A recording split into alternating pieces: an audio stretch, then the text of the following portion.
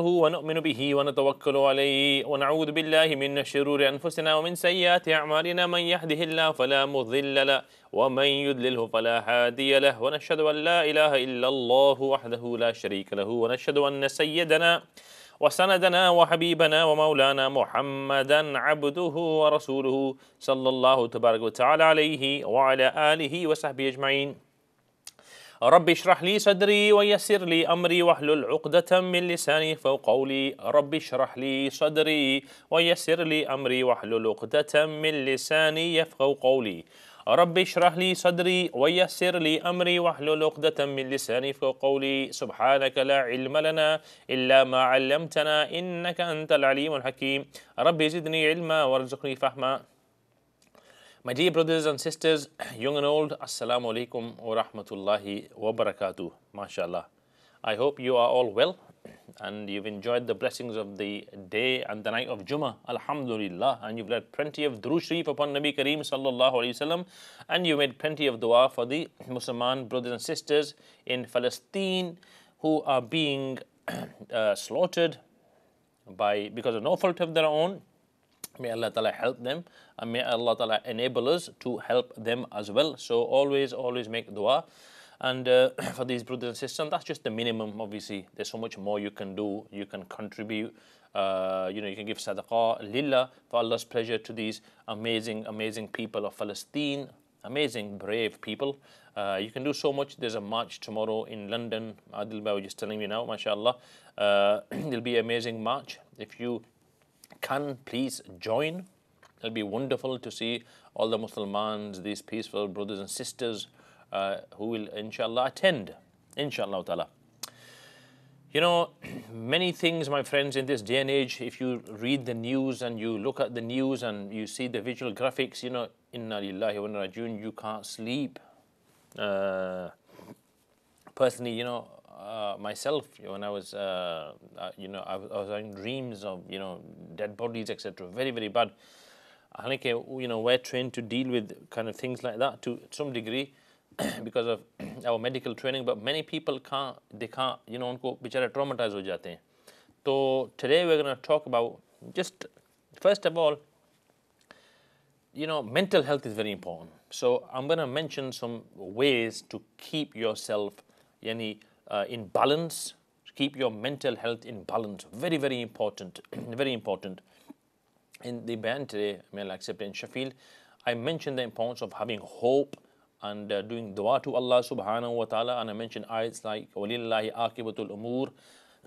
For the, all the conclusions of everything lie with Allah. Walillahi umur. The conclusions of everything lay with Allah.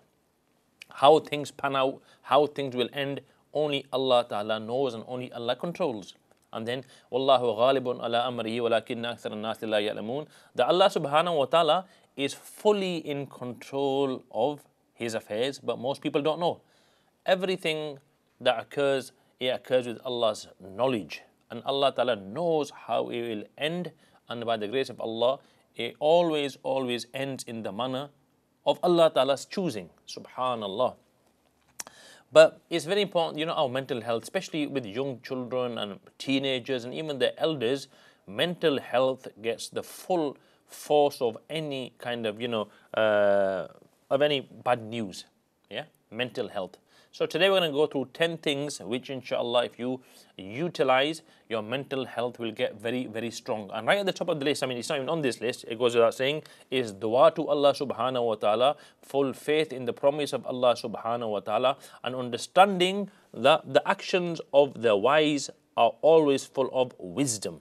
Allah subhanahu wa ta'ala knows everything, He sees everything, but Allah subhanahu wa ta'ala is very merciful and very halim you know, he watch he's because obviously we're in the dunya for a test. Some of us are getting higher and higher and higher and higher ranks in paradise, and some of us are earning the lower and lower and lower and the lowest depth in Jahannam according to the actions. The more good you do, you go higher in paradise. And the paradise, you know, it's amazing. It goes on for so so long.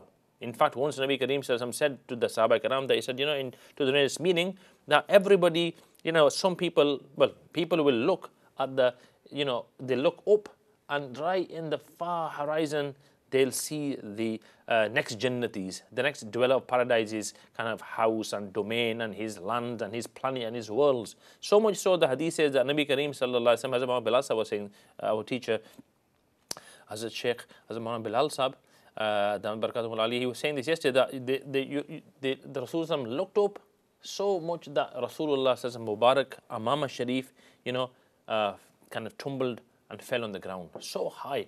So mashallah, some of us are earning these high, high ranks, and some of us, Allah keep us safe, or some individuals are earning the lowest and the deepest parts of Jahannam. You know, it's, it's not just one uh, size for everybody. Uh, everybody will get according to what they've earned. Our brothers and sisters who are going through literally so much trauma and so much tragedy, imagine what their ranks will be.